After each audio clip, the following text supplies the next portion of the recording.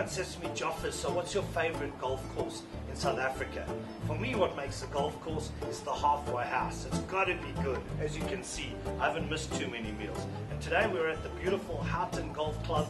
Incredible, this beautiful clubhouse. We're into the halfway house already, so let's go get stuck in. Wow, Houghton Golf Club halfway house.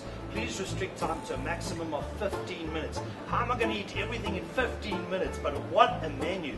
Just looking at the breakfast options, you've got a hot breakfast, basic breakfast, birdie breakfast, eagle breakfast, albatross breakfast, two eggs, two slices of toast, two meats, two extras. Joffers, my boy, likes that kind of selection. For me, quantity, often better than quality. And the selection of the day, you've got all the, the fruits, the yogurts, fruits and yogurts, muesli, not for Joffers.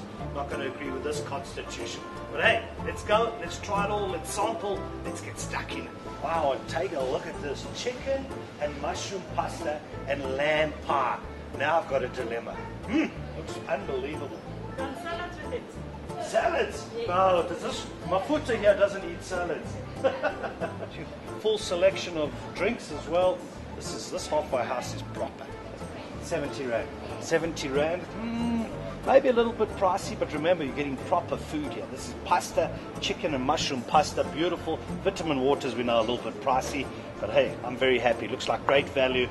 Mm, Joffers, very happy now. Boy, this is good. Chicken mushroom pasta, it is delicious, like mother's milk. What more can a guy want? I mean, a bachelor that is beautiful. Well, a bachelor could ask for a little bit more, I guess, but uh, mm, it's probably my first home cooked meal in a long time. Mm.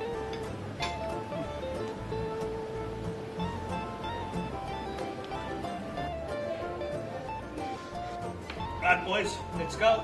Tummy full, halfway house at Houghton, a great experience. The food was excellent, wide range of choice, maybe a little bit pricey, hey, but then again, we're in Houghton. But overall, Houghton Golf Club, halfway house, thumbs up, five stars.